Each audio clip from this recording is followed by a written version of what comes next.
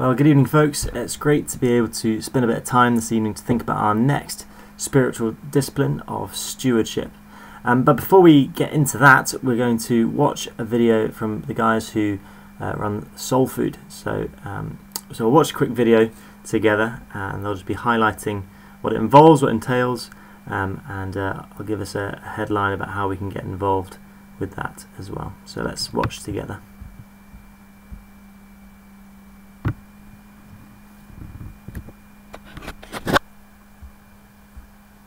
Here we are, it's half past one on Tuesday, and the food is being prepared for dinner for Soul Food. So, what's on the menu today, Sue? A chicken and ham pasta bake, or a vegetarian alternative, and a white chocolate uh, pudding thing. Sounds good. It will be, it will be. And uh, how Lots long of does it? And uh, how, uh, how long does it take you to cook that? Well, it depends how many people are here to help with the vegetables. But I'll be fine. Very good. Hi guys.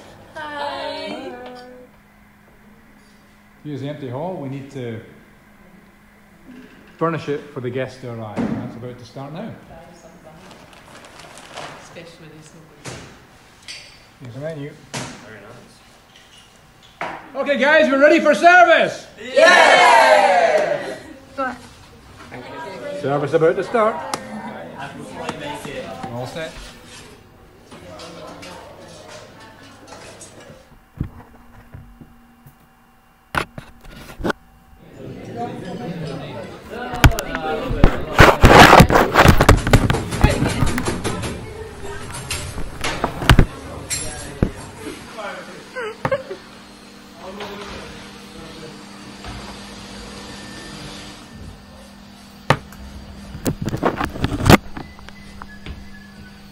Hello, so you have seen a little taster of what happens each week at Soul Food. Um, and as you can see, it's quite a big job, and we would absolutely love for you guys to get involved. Um, even if it's just once in a blue moon, we are running really low as it comes into summer, and we would hate to have to um, cancel the meal for a couple months just because we don't have enough people. So, um, if you can get involved, if you as a home group could get involved and then head on to your home group after, that would be amazing. Great. Uh, really great to see the kind of uh, ministry in action. So thanks so much for the, the video there, guys. And yeah, hopefully that may have prompted you to think maybe you've got a bit of time for that. Um, so just to just to highlight what it involves. So at 2 p.m. Uh, is when the food prep begins, just at Carrubbers. Uh, then 4:45 is when the setup for the actual, um, you know, the tables and chairs and cutlery, etc. That's when we need help for that. And then 5:30 is when the actual meal starts, and that's when you'll get to interact with the folks coming along, get some time to chat with them, and get to know them. And then at seven o'clock, that's when uh, clear up is. So uh, if you're interested in getting involved with that, you can get in touch with uh, either Sarah White or Doug White, uh, and your home group leaders should have their uh, contact details. So if that's something you're, you're you're prompted to think about getting involved with, then uh, yeah, get their get their phone number and send them a message, uh, and see how you can uh, get started. Brilliant. Well, uh, so as we think about our next spiritual discipline of stewardship, I want you to think about this question: Have you ever had to plan your time and money so that you could achieve some kind of goal? And I imagine for most of us, that's probably a yes. You know, you may have had to budget in order to do university, or had to save up to, to get a home or a car or something like that. We're all used to this idea a little bit of figuring out how to manage our resources. And this is what stewardship is all about. It's about how we manage our time and money, how we manage our homes and resources. And in the biblical view, it's, it's, it's more, than, more significant than just life management. Um, it's about using everything we have to the will and glory of God.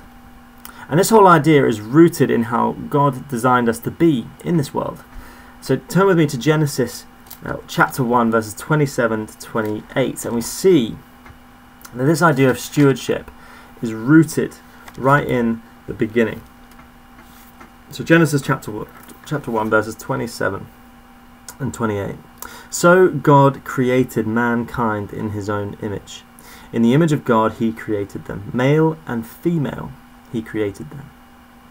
God blessed them and said to them, Be fruitful and increase in number, fill the earth and subdue it.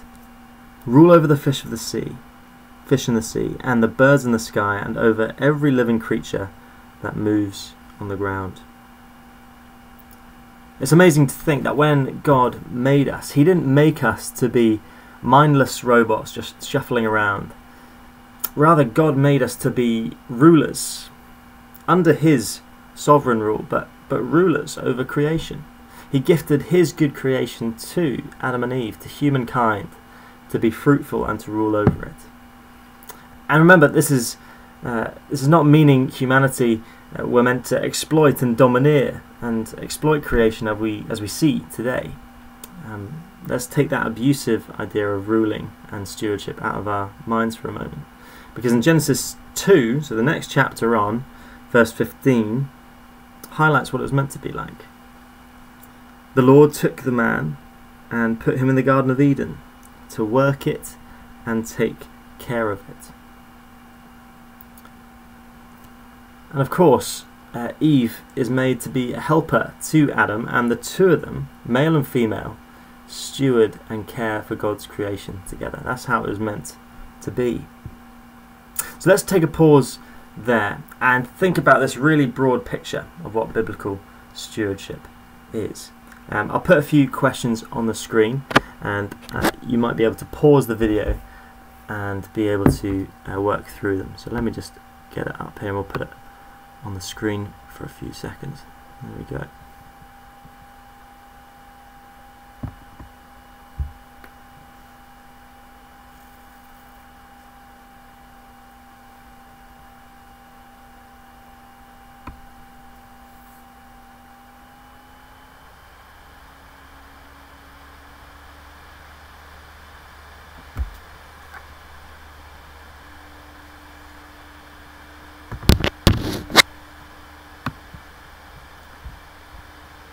Great.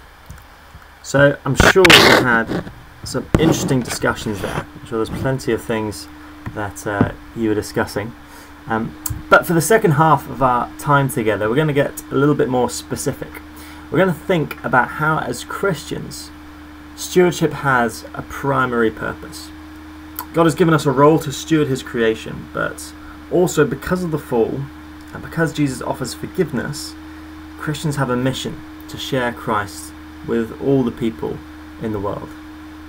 And as we manage our time, money, and homes, all of this has to be directed towards the goal of people hearing the gospel.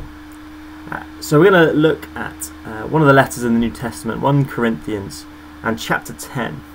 And the context here of to what is going on here in this letter is that the Corinthians are struggling to follow God's wisdom instead of the world's wisdom. For the Corinthians, the world was telling them that they should insist in their own rights and freedoms, whereas God's wisdom was telling them to give up their rights and freedoms for the sake of others. And Paul, in these few chapters, has been demonstrating how he's been doing this for them. When Paul was ministering to them, when he planted this church and was preaching to them, he refused payment. Speakers were meant to get paid back in those times, but he refused payment because he wanted the integrity of the gospel to be undisputed. So instead of getting payment, he worked his, his trade as he was preaching.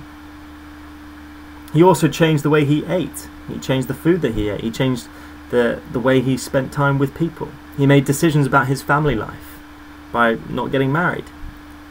All of these decisions uh, about how he manages his life are directed towards one aim.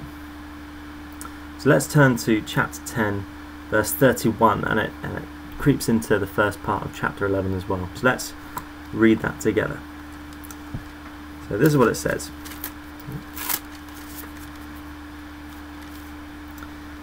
So, whether you eat or drink or whatever you do, do it all for the glory of God. Do not cause anyone to stumble, whether Jews, Greeks, or the church of God, even as I try to please everyone in every way. For I am not seeking my own good, but the good of many, so that they may be saved. Follow my example as I follow the example of Christ. Paul is seeking the, the good of many, not just for its own sake, but so that they may be saved. And so, this is to be our guiding principle as we think about stewarding our resources. A couple of years ago, I was given uh, this book. Uh, so, I wonder if you can see that. Yeah. Uh, yeah, the title says, I will teach you to be rich. Now, if you're sat up in your chairs at this moment and uh, feeling a bit worried, then good, you're, you're paying attention. Brilliant. Um, but this book, all it really is, is just has some common wisdom, common sense wisdom about how to manage yourself, how to not be wasteful, how not to overspend, how to make good savings decisions, etc., etc. So there is an element to stewardship in which it is just good wisdom, how to be wise in the way you manage yourself. But the thing is, it's only really worth something if all of that is being directed towards people coming to know and love Jesus. That is the ultimate goal and aim. So I've got another book for you which I think is far better. Um, it's called What's Best Next. What's Best Next? How the Gospel Transforms the Way You Get Things Done. And this is great because it helps to apply the wisdom to actually doing everything towards God's glory and sharing Jesus. And that's really critical because I was chatting to a couple of uh, pastors in different churches, and they were speaking about how they were facing significant challenges in getting a church building. They wanted to be in the community, be able to have a base where they could do outreach to the community, to show uh, what the gospel was, and also to, to do good, to offer mercy ministry to the community. And they said the challenge to their congregation was that they had to make big sacrifices, downsizing houses, foregoing holidays abroad, etc. But they said that this was an incredibly healthy thing to do for the, for the church to do. Because as they prayed and as they used what they had, and they were able to afford a building, they were able to see the gospel impacting and changing their communities. So obviously it's much broader than just getting a building. But the way we use our resources, the way we use our time and money, we have to think about how we can use them for the best purpose of reaching others with the gospel. So we're going to spend a bit more time discussing this. Uh, there'll be a few questions that come up. Uh, and then just go straight into praying for one another. Um, pray for one another as you think about how you can use all that you have uh, wisely for God's glory and for His gospel. I'll put the questions up. have to change them.